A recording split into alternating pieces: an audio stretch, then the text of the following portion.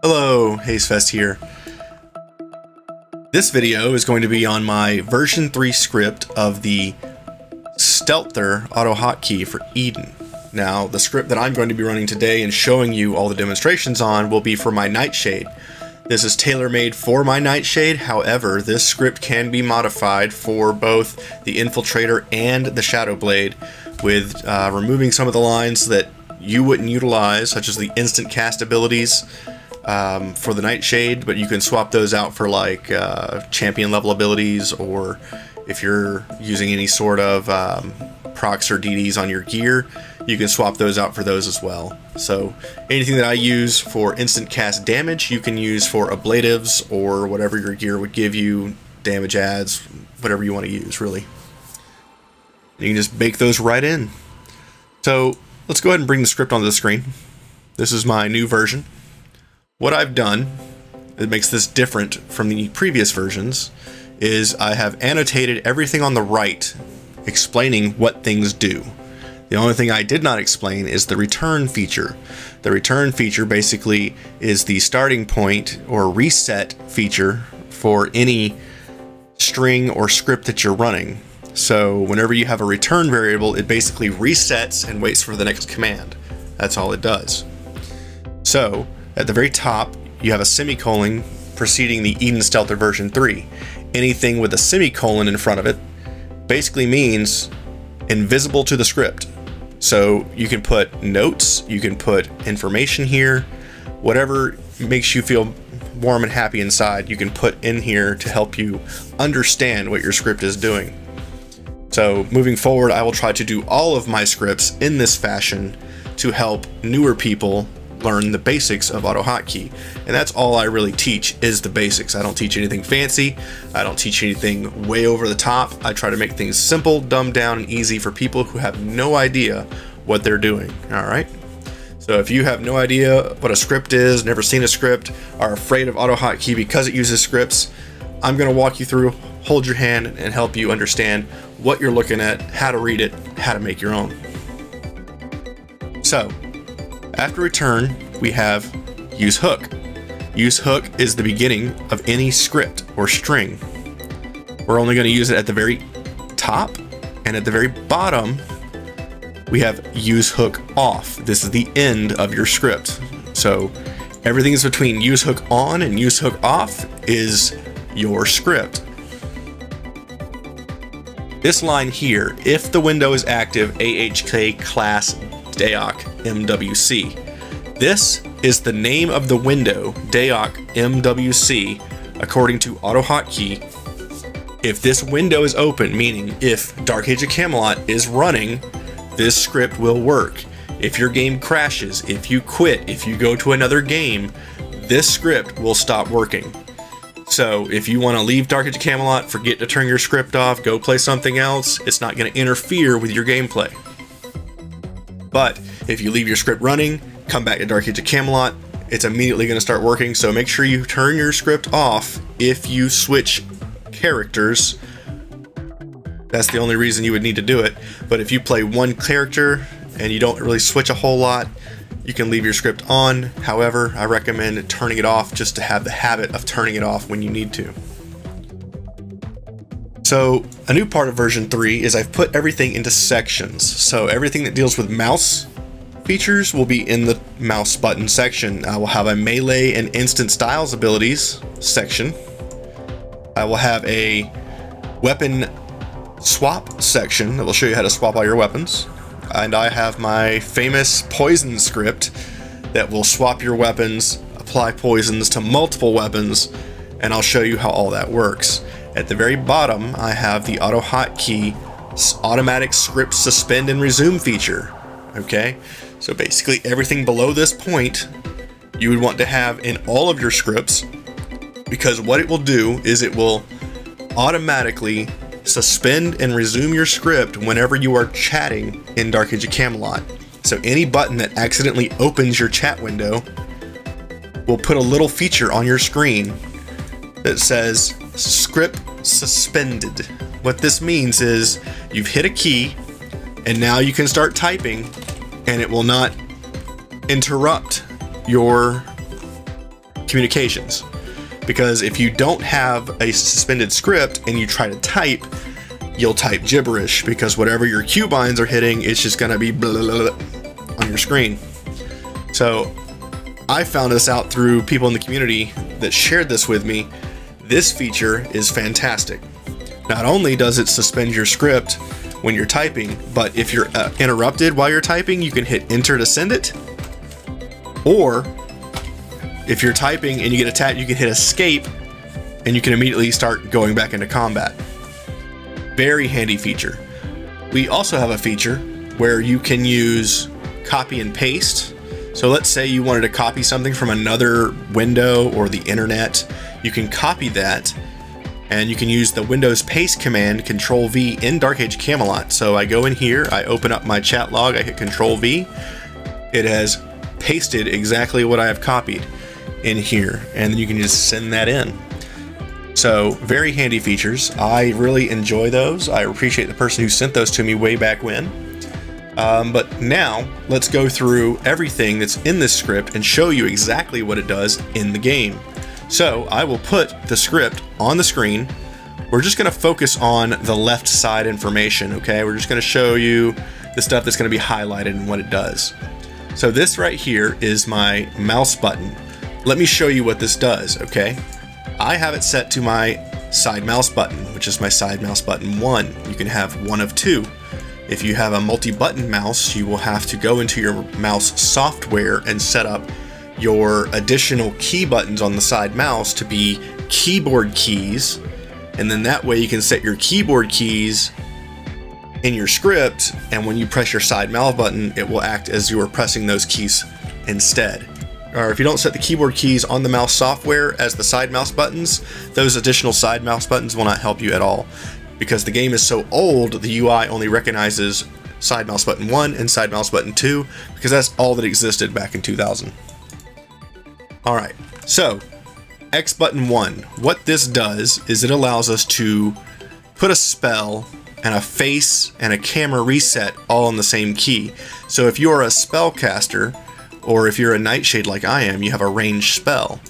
Um, so if you want to utilize uh, kiting or anything like that, where you're using snapback off and keeping an eye on your enemy, and you want to attack them immediately, what you do is you hit your side mouse button, and it resets your camera, it faces the target, and immediately begins casting, because face roots you in place It doesn't necessarily root you, but it makes you stop moving. So I'm watching this guy.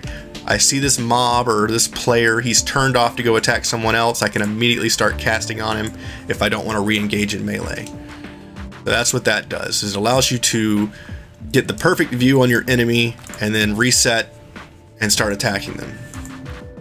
Alright, I don't recommend that you have this on every single one of your spell keys because you want to have some spatial awareness of what's going on around you. But in this case, I only have the one spell, and it's good to show you what it can do. Alright, Alright, let's go over the melee styles and instant abilities section of this guide. So, what I have is a list of information here, okay, for my one key that I have highlighted on the screen right now. We're moving over to the combat dummies that actually fight back so that you can see this in action. So, when people start using auto hotkey, the number one thing they ask me is when I go to use my styles, I miss the first attack every time. Why is that? Very simple. Eden's server reads your key presses so frequently that when you go to initiate combat in melee, it will only accept the first two, maybe the first three, send key requests. So that means it would read uh, shift down, shift up, B, F8, and um, the equal sign, right? So when I go to attack this guy, I'm probably more likely 80 or 90% going to fail. So when I come up here to hit this guy, you can see that he blocked my attack. Okay, well that's cool and all. You can see that my asp's bite worked that time because I was already in melee combat, the swing timer was already in effect. However, when you stay out of combat and then you go to attack somebody next time, I evaded, so my hamstring went off. However, if you don't evade,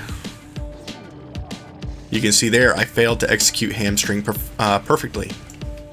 So it read my hamstring input and then it never got down far enough to do asp's bite in the same key press. So what happens is it'll read my reactionals, which is my uh, after evade, but it will not read I failed to uh, execute hamstring perfectly. So asp's bite is barely reaching uh, and it actually attacks the second time around. So what's happening is the server's reading my inputs, but it's not reading my inputs fast enough. This time, on the third or fourth attempt here, it actually landed my anytime style because it read it between the pulses of which the server is reading your key inputs. Okay, every server reads the key inputs differently. Atlas reads it differently, Phoenix read it differently, and Eden seems to be more responsive than the other two servers, uh, allowing you to have almost no key buffer whatsoever. Uh, the only exception is once you are already in melee combat and your swing timer is in effect, because you have at least 1.5 seconds to press all those buttons between every swing. So when your swing timer is in effect, your script functions normally or flawlessly. However, when you go to open up on an enemy, it may fail. The way around this is just drop all your follow-ups and just have your after evade and your anytime. Just have your side and your back, whichever you're going to use. Just have your Leviathan and your slam if you're a Reaver, right? Or just have your side stun and your back snare or whatever the heck you want, right? So you only have two styles on things that you want to open up with that have a high chance of landing, like your positionals and your anytimes. That's the best advice I can give you on Eden. Once you're already in combat and you're attacking, you're good to go. But if you're out of combat for five seconds or whatever your swing timer is, it's going to reset and you're going to have to re engage with your two styles that you want to open up with. That's the best advice I can give you. However, let's see one in action. So I'm already in combat, right? So I push my one button, you saw my spells go off. So the one button does my after evade, my after evade follow up, and then it uses um, my anytime style. So whenever I don't evade, I'm using my anytime styles. I evaded, there goes hamstring, and then leaper. So why did I put hamstring before leaper in my sequence? The short answer is better defensive um, capabilities. So let's just look at that real quick. Leaper gives you a low defense bonus, but does high damage. Gives you a medium bonus, which is the same as hamstring. Hamstring is a high damage bonus, a medium to hit, and a medium defense. So that means if I'm rotating hamstrings before my leaper, I will evade with hamstring two, maybe three times, and then if I don't evade again, I'll go into Leaper. But I'll be better defended spamming hamstring and then going into Leaper later than I would if I just did hamstring Leaper, hamstring Leaper. Does that make sense? Hopefully it does. And if I don't evade at all and I don't have Leaper off of a hamstring, then it will just result in anytime styles of asp's bite. Asp bite. Asp's bite. So the F3 is my asp's bite, and then my page up and my comma are my two instant spells that are on long cooldowns. So I just rotate my instant cast abilities right into my styles. That way, it whenever they're up, they immediately just go off. That way, if I'm doing a one-on-one combat, it's much better. However, the detriment or downside to this is if you want more control in your RVR aspects to hit players that are casting from afar and you can't quite get to them, so you want to interrupt. You're not going to be able to do that unless the skill is up and you're spamming your 1 button or your 5 key because I put this also on my 5 key. Hopefully that helps. Let's go over 2, which is your side and back styles, okay?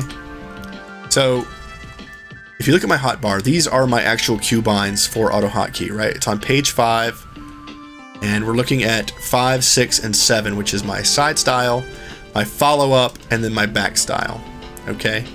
So, since there is a key press between my side and my back, there's a high failure rate here. So, you can see I can land my side style because that's what we lead with, but if I try to come behind the target with Sidewinder on the bar, I failed to execute my Ice Storm perfectly.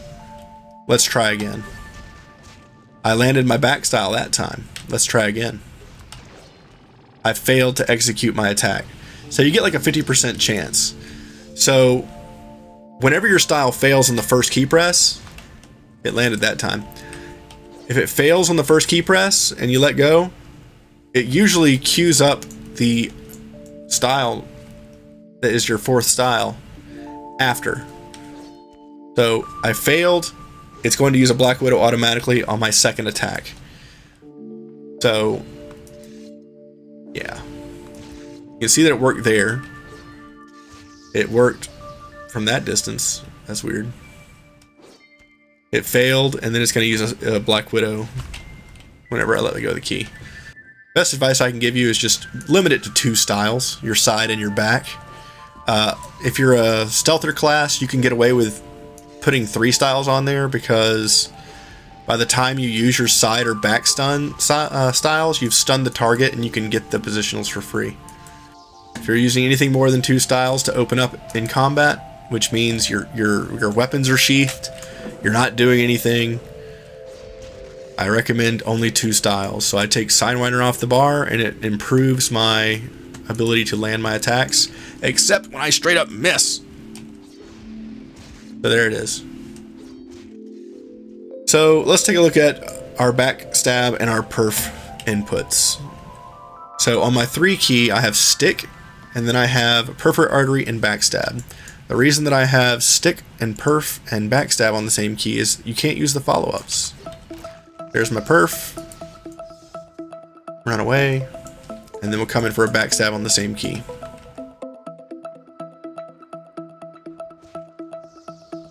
Coming in. Boom, backstab. So, there you go.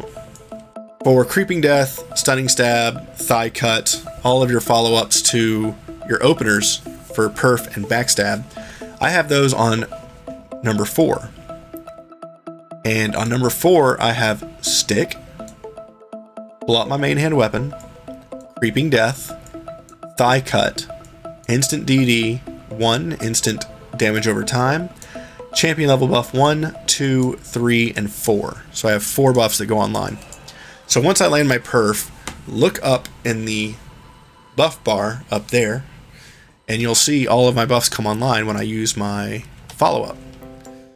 So let's go in and show you what this looks like. So we come in, we perf the enemy. Creeping Death, he is now stunned. Then we just go right into back styles. Or we can go into side styles, whichever you prefer. Whatever, whatever you'd like to do. And then when he comes out, we would swap to our evade and our anytime styles. So that way we have pretty much just everything possible until you either A, stun the enemy again, or B, kill them. So that's pretty much everything. Let's take a look at the next thing and uh, see what that looks like. All right, we're back at the hitback dummies to look at number five, which is going to be our after evade and anytime styles, similar to our one key, except we're going to use different styles. Okay. So we're still going to have the instant DD, we're still going to have the instant dot, we're still going to have stick and swap to main hand weapon, and then we're going to use two different styles for after evade. Instead of using hamstring and leaper, we're going to use diamondback and diamond spider, which is my 8 second stun off of an evade. So I go right in, we're in combat, I've evaded, I pop my ability, there is my first attack. He stunned me. So now I have to wait for my evade again. There's my evade. There's my first style. There's my stun. And then I can go right into back styles and side styles and whatever else. And the whole time that I'm doing this, it's also going to allow me to do um, my instant cast abilities. So hopefully that helps. Hopefully uh, you kind of understand how all the melee stuff works as well as the possibilities of melee. You can put anything that's an instant cast or anything that's uh, a charge item that has an instant cast on with your styles. So if you're not a Nightshade, you can still use the instant abilities of your items to give yourself ablatives, heals, potions, whatever. I don't know why you want to put a potion on a style, but you usually want to use something that has a low cooldown like your CL abilities, and uh, you know, hopefully that makes something, you know, a few key presses lighter, so to speak. Um, let's go ahead and go into the weapon swaps since we're here. So the weapon swapping section, uh, I went ahead and put the macros for you on the side. You can't really see them. Uh, but I'll just pull this onto the screen so you can see it. So I've put the actual macros. You can just copy and paste these right in. If you're using my script, you can just paste them right in with the control V. So you can just copy this line, go back to Dark Age of Camelot, open your chat, paste it in, and there you go, instant macro. Mind blown. I know, it's cool, right? Let's keep going. So, for these swap macros, uh, I have my 6 key. And what my 6 key does, if you watch my log on the right here, I'll go ahead and increase the size of the font so that you can see it. That's probably too big. That's what she said. We'll go with 14. So I hit my 6 key. You can see that it swaps both my main hand and my offhand, right? So now I hit my 7 key. So we've just done 6, which sends C and K. 7, same thing. You can see in this in the log here, the second Zen 7. You can see that it wields both my weapons at the same time. And same thing for 8. So 6, 7, and 8 swap between my four weapon sets, the two in my hand, my backup two, my backup three and four, my backup five and six. Now, what I did was I took it a step further and I made my poison script. So, six, seven, and eight are essentially the same thing, but they all have different hotkeys. That's the only difference. And the macros are here if you want to just copy and paste this into the game and then Q bind them to the same. You can do that. You'll just have to change some stuff in the slash keyboard settings. Let's look at this big bastard right here. This is my poison script. I was doing some testing. This was the creme de la creme. This is the very top portion, the cake topper of the script, so to speak. This was a beast to figure out. So, what I did was I've made it shift Q to poison my weapons. I had to put shift up because what was happening is my fat stubby fingers don't move like they used to and while I was holding shift Q it would use shift modifiers for some of the abilities like shift C, shift K, shift O, shift Y. So in order to uncluster my sausage fingers I use the send shift up command. So what that tells the system is that the send key has been released and to fire everything through. So that prevents accidental shift commands. Now we go into send F9, which is my infection. End is my life bane. And then I have my weapon swaps. And then I go into life bane and then weapon con debuff poison. And then I do weapon swaps. And then I go into infection and weapon con debuff for my third set. And then for my fourth set, I go into life bane and strength, which is L. And then I swap back to my original two. You do not have to swap back to your original two if you don't want to. So these lines are kind of pointless. But you can just put the same poisons as your starting weapons on your ending weapons and you're good to go. I'm special. I wanted to swap back to my original set, so that's why I put them in the bottom here. Not necessary, it's extra fluff, but it feels good when you start with the original two and that way you know exactly what poisons you're applying every time when you hit 6, 7, and 8. And that's the full script. That's everything. So, you've seen it all. It works pretty good. Now, I'm not gonna lie. Eden's auto hotkey feel, feels a little janky if your script's not polished.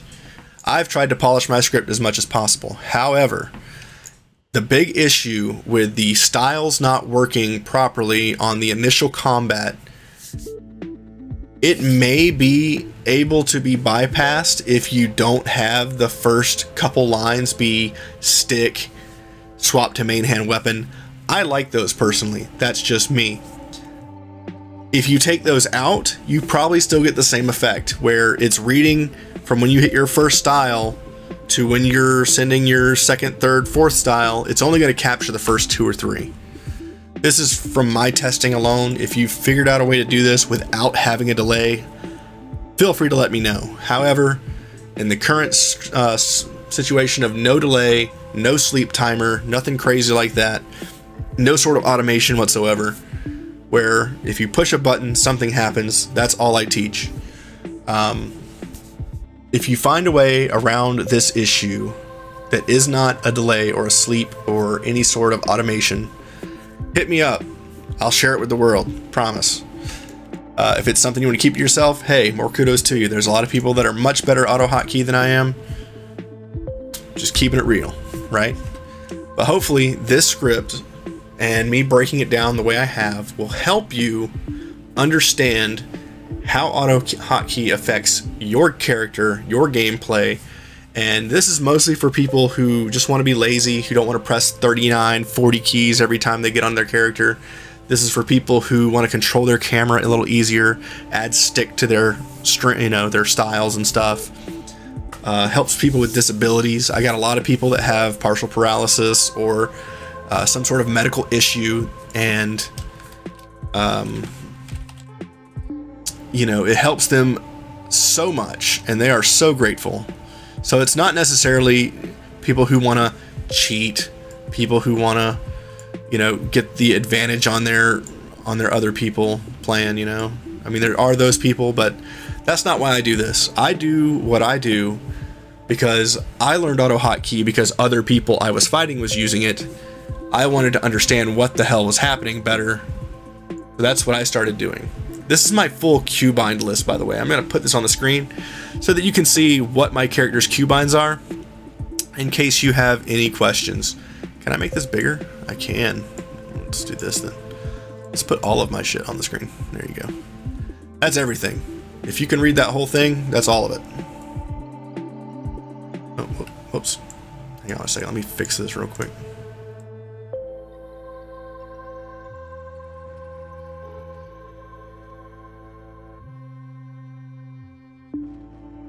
Alright, I have put my full Qbind list on the screen for you while I'm going over the next few things as my closing statements, okay? So if you want to, you know, set your Qbinds to what mine are, this is how you do it. That's as dark as it gets, really.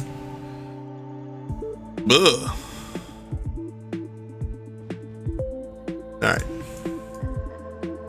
So while I'm going over the next few things, I'm going to put my Qbind list on the screen for you so that you can see it. You can just, if you go into uh, your Windows, there's a little snip, snipping tool. You can just hit the Windows button, go to snipping tool, or type snipping tool. It'll pull this up, you hit new, and then you can just make a copy of this, just like that. And you can save it and go over it without having to pause the video and keep coming back. You just you can just save it right here. Save as a file. Hopefully that helps. But I'll leave it on. Auto hotkey is not cheating. Okay, there are people who use auto hotkey to cheat. Eden's rules are very simple. Do not have loops. Do not have delays such as delay, set key delay, or sleep, or anything like that. Anything that has a break in your script via the code is cheating don't have any sort of automations, and they said don't broadcast your keystrokes. Please let me know what broadcasting is because I have no clue what they're talking about. I try to keep things simple. I keep things dumbed down for the people who have no clue about scripting, AutoHotkey, someone who's just curious, right? Someone who wants to understand what the hell's happening, what it does, why is it so popular, why do they say it's cheating, why is it overpowered? It's none of those things, okay? It is a it is a way to fight the UI's jankiness and the old ass mechanics of this game, right? So newer style games are going to have things that are uh, more innovative and will help you, you know, do exactly what you want to do. Most of World of Warcraft has most of what we're doing here already baked in with the macro system they have. So basically this is helping you get up to speed with other MMORPGs. Now you're still going to have the old school crew who says it's cheating and that you're not, you know, the, the purist community. I like those guys. I used to be one of them, okay? Don't hate on them because they're not using auto hotkey and don't hate on the people that are using it. I hope you learned something. I don't do this because, you know, it's going to make me popular overnight. Dark Age Camelot's not that big of a game. I'm not really going to make money off of this. So, um, the reason I'm doing it is to help the community, uh, community which I like. I've come back to it uh, about five years ago when Phoenix was out. Right when the, well, I guess the pandemic hit, so 2020 is when I discovered Phoenix. I mean, I tried to put my document creation background to use here and, and try to spread information, which makes me feel good and it helps people learn. And I like talking Dark Age Camelot with people as well as AutoHotkey because it, it gives my brain something to do. I appreciate you guys for watching this, I do. You know, if you want to subscribe and follow, that's great. I don't really push for it. Um, I don't really beg for, you know, Twitch stream viewers or subscriptions on Twitch and stuff like that. I just do it because I like the community. I like having people who are into the same thing that I am and just having a good time, you know? I'm HazeFest. Thanks for watching. Have a great day.